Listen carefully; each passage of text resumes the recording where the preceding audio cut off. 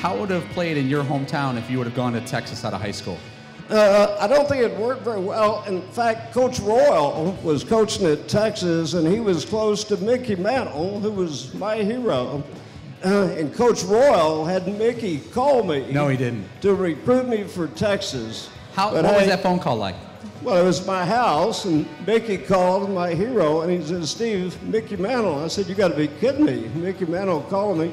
He says, You know, Darrell Royal's a great friend, and he wants you to come to Texas. And I said, Mickey, you're my hero, but I can't go to Texas. When I was raised, we do this in Oklahoma. When I went to receive the Heisman, uh, Johnny Carson asked me to come on to the Johnny Carson show. So I went to the Johnny Carson show, and I was sitting in the back with the Heisman, waiting to go on with Johnny Carson. And I'm sitting there, and in walks this Muhammad Ali, greatest fighter in history.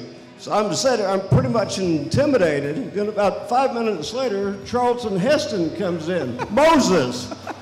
so here I am, just this kid from Oklahoma, and all of a sudden, an aide to Johnny Carson came up and said, Steve Owens. I raised my hand, and she said, the President of the United States, Richard Nixon, would like to talk to you. On the phone. Uh, these two guys looked at each other and say, "Who in the hell is this kid?" You know.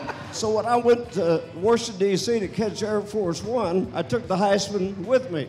Okay, and they had crated it up, and so when I got to Air Force One. I was going through security, and the Secret Service said, "What's in the box?" And I said, "Well, that's the Heisman Trophy." And they said, "We're going to have to check it out." So they took the crate apart and strip searched the Heisman. So that's how I got my Heisman home. Now, when you're playing here, I asked Jason White about this, and he said both. But what's the team you have to beat to satisfy the fans? Is it Oklahoma State or is it Texas? Uh, I think you have to beat Texas first because we just expect to beat Oklahoma State. We don't think too much about that.